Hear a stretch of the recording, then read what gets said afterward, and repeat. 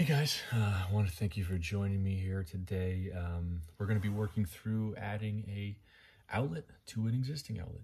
In this case, adding to this outlet on the other side of the wall in the bedroom so that we can hang a TV on the wall. Uh, so right from the start, if you guys, um, if it's your first time here, welcome to the group. We're going to be uh, doing a bunch of DIY stuff uh, you know, a bunch of quick fixes for things. Uh, we build things, we fix things, we add to things, that sort of thing. In addition to a couple other things that we get excited about. Uh, if it's your first time here, you know, consider, um, you know, slapping that subscribe button. Uh, it should be down in the corner over there. And then uh, make sure you throw a like, like on the video, just so that I know that it's something you guys are looking forward to or looking looking for, and then I can go ahead and make more more videos like this. So I want to get started. I want to throw a little um, disclaimer in here. I am not an electrician by any means. Uh, in the state that I live in, you do not need to be an electrician in order to add an outlet to an existing outlet there, but you want to make sure and check your codes so that you're doing this properly.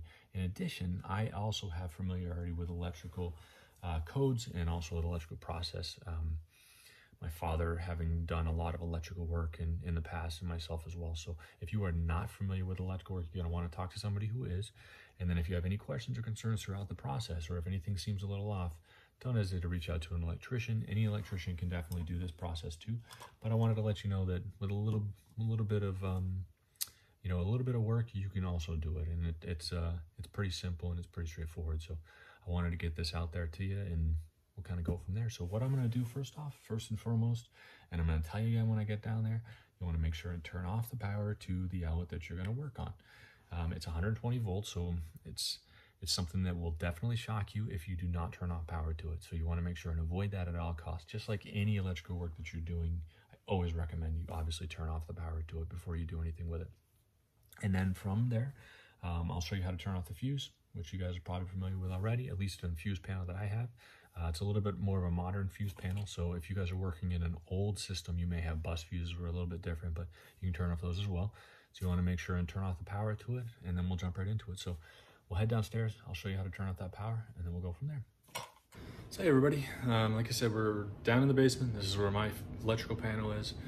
Um, always want to turn off that power, turn it off, turn it off, turn it off. It's worth the trip downstairs for sure to avoid the shock. So um, we have everything set up ready to go upstairs. We just need to turn off the power on here before we end up uh, jumping into it. So I'm gonna go ahead and uh, show you how to do that part.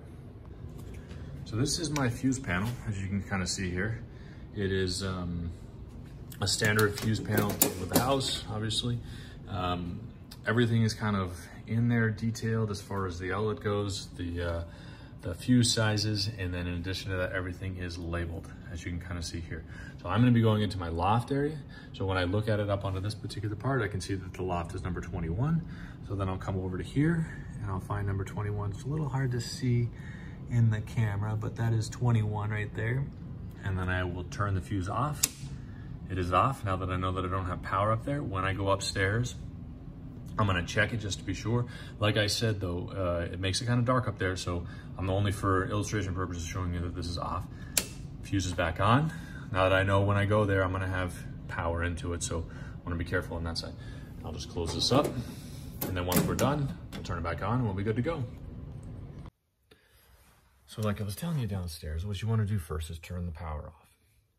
You want to make sure that there's no power to it so you don't risk electrocuting yourself.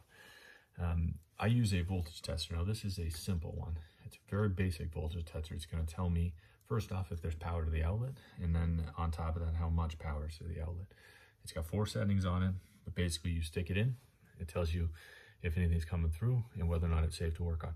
Now like I said downstairs, I turned off the uh, fuse breaker to this particular space, but then I turned it back on because it gets pretty dark in here if you don't have any power to it. So when I plug this in, I will have power to it, but I want to let you know that you want to make sure and turn it off before you go after the outlet. So if you look at this, I'll try to zoom in a little bit.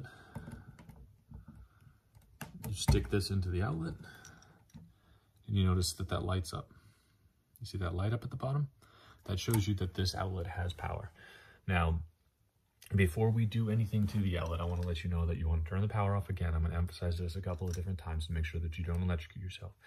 So I'm going to go over the basics of the tools that I needed to do this, where I, why I chose this particular outlet to tap into, and then um, kind of give you a rundown of what I did there. So the main thing that takes the most amount of time is fishing the line through the wall. Now there's no insulation between these rooms, so it's a clear stud channel between the two studs in the wall. So all you're really doing is pushing it up into the wall, the wire anyway, and then pulling it out through the hole on the other side. Now, to avoid you having to listen to me swearing all day as I try to push this through, I've decided to um, start here, I guess. The wire is already in the wall, but I'll kind of show you how I did it and we'll go from there. So I'm going to go over the tools that I use, like I said, and then we'll jump right in. So hang on. So what you can see here is basically all the tools that I have laid out that I used to add this outlet to um, the existing outlet that's already there. So I'm just going to kind of point them out. So this is the voltage tester that we just talked about. tells me if I've got power running to the outlet. This is a stud finder. Uh, I bought all this stuff at Home Depot or Lowe's. Any of your box stores will sell it. It's a basic stud finder, but it, it'll tell me where the studs are. Now I know where they are in the wall just because they're 16 inches on center, which they should be. And I know where it is in relation to the outlet that's there so that I can measure off to the left or right of it. And I know that I've at least got the stud channel for it. These are wire strippers. Uh, you can use anything from a regular knife. This just makes it easier because it's set up by the gauge and it'll pull the wire off of it obviously standard mechanical pencil to mark where I want the outlet to go. These are needle nose pliers. Uh, they're just helpful in making loops and stuff like that in the wire and then pulling anything through as it goes. And then these are, they're called dikes, but they're actually um, just trimmers. I use them to cut the wire at the different lengths. Regular screwdriver. Now this particular screwdriver has the option to do both uh, Phillips and regular, which is kind of nice because you have both when you're pulling the outlet apart, you'll notice that you need both of them. Regular, this is a drywall saw, but this is intended to cut the hole in the wall for the box. This is a after install box. So basically you don't have to screw this into the studs. This box is designed to be put in after the drywall is already there. You cut the hole in it, you put it in place or push it in there, and then you're basically turning the screws and it pulls this in and then tightens it like that to the inside of the drywall so you have a nice snug fit without having to cut a big huge hole in there. And it's also got the ports in the back to send the wire through and that's kind of what you see there. And then this is the wire that I use. Now this is a, sorry, it's a 14 gauge Romex wire. You'll see it's got three wires in there. The unsheathed wire is gonna be the ground wire. That's always gonna be the ground wire in this particular case. The black is gonna be the hot wire and the white is gonna be the neutral. So you'll notice in the wall, and I know that I have, um, I looked downstairs when we saw the fuse, it's a 15 amp fuse, so you know it's only gonna be this particular wire versus like a 12 gauge wire or something like that. So this is uh, what we're using today. And in reality, you don't need a lot of it. You only need enough to um, run it through from where the outlet that you're tapping into to where you wanna hang it. So in this case, on the other side of this wall, I'm gonna be hanging it about that high. So I need enough wire to run from there straight up the stud channel to the new outlet location. So like I said, I went right on the other side of the wall and I'm planning on hanging a TV and this is my daughter's room. Um, you'll notice that I do have an outlet down there, down in the corner. Now I could have tapped it right into that and just run it straight up the channel. However, I'm trying to get this outlet to be in the middle of the room, which happens to be right there. Now, the only thing that I can do with an outlet to put it right there is run it from the outlet on the other side of the wall, which is the one that I was showing you. So I wanted to put it over here to make it in, make it on center for the space. And then it forced me to run it into that channel. So as you can see, I've got the outlet up there right now. And like I said, uh, I've already cut the hole in it. I've already put the outlet in. I've already hooked it up. So I wanted to basically kind of run down how I did it um, without having to show you. So you don't have to watch me uh, fight the wire through there for about half an hour or anything like that. So like I said, you can kind of see in here, this box that I have here is one of those uh, after, or after add boxes in that I don't have to have exposed studs in order to put it in there. I just have to cut a hole and that's what you can kind of see here. I cut a hole in the drywall for it. Now I know that the stud is right here using my stud finder, but also I took the um, faceplate off the outlet on the other side of the wall and I knew that the stud was on this side. So I know I can run a run it straight up there and basically just punch a hole into where I want the location. I can draw a, a box on there with my mechanical pencil and then I just cut, cut the shape of the box, pop it in, and then you use these screws right there to tighten the box in place and it gives a nice snug fit. It's kind of hard to see in this particular picture, but you can kind of see down there. And that's, I punched a hole inside the box, or I pulled one of the tabs off, I should say. And that's where I pulled the wire through. Now, once you get it to the outlet, the wire itself, and you pull it through this side of the wall, it's basic wiring to get the outlet hooked up. Now, if you have, if you're familiar with electrical, that part of it shouldn't be an issue for you, even just a little bit. You can certainly Google how to add an outlet or how to actually wire an outlet. Be a 15 amp, 120 volt outlet, just standard outlet. This is where I'm going to be hanging a TV.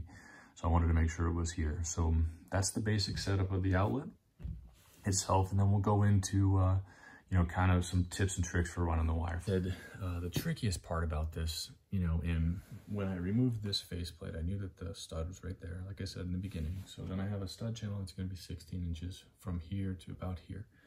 Um, the biggest trick in, in this is getting the wire to run up through. They do make a device, it's called a fish stick. It's basically an attachable, um, you know, it almost looks like tent poles.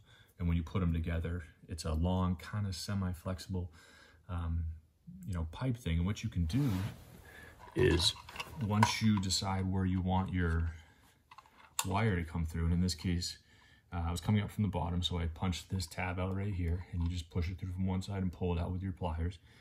Once you know that part of it, in the outlet that you're pulling from, you can punch that tab out and push the fish stick through from the bottom with your wire attached to it. You can tape your wire right to it. And then your fish stick will be able to run straight up through the wall. And then you can go to your hole in the wall on the other side, find your fish stick and pull it out. Like I said, you didn't need much wire, right? So this is enough wire to get up to where I need to go on the other side. Enough wire to give me my fit. And then basically I'm just attaching it to one of the other terminals within this particular outlet. Now I knew that this outlet only had one thing running to it. It had wires coming in the bottom and then wires going out the top to the next next one in the line. The, these particular outlets also have two ports on the backside that you can put wire additional wires into so you can attach you can actually attach uh, the power coming in, going to the next one, and then two additional sockets into, or two additional outlets into it. So you want to make sure that you're not overloading your fuse. So a 15 amp can run, say 10, you know, between an outlet, a, a light switch, um, a light, you know, anything like that. So you want to make sure you don't overload your fuse because you'll just end up uh, tripping the fuse every time you turn it on. So you want to avoid that. Make sure you're not running an outlet that's overloaded already. Uh, in this case, I knew that it wasn't, so I was okay. And then you're basically just attaching this to the uh, outlet that's here already, running it between the wall, sending it out the other side, attaching your outlet on the other side, and then putting your outlet into there. And then you're taking your box, you're making it nice and tight, putting it in place, and then you put a faceplate on it and you're good to go. So I did this because I didn't want to have to do a lot of drywall repair. It, you know, reason why I use this box anyway. I didn't want to do a lot of drywall repair.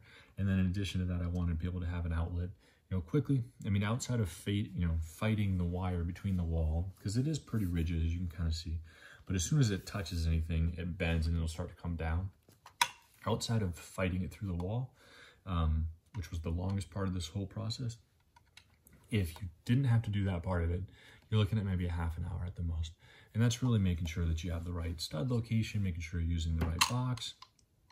In this case like this, making sure that you're not, uh, you know, you've got the power where it needs to be, that sort of thing. And then checking your, uh, checking your circuit.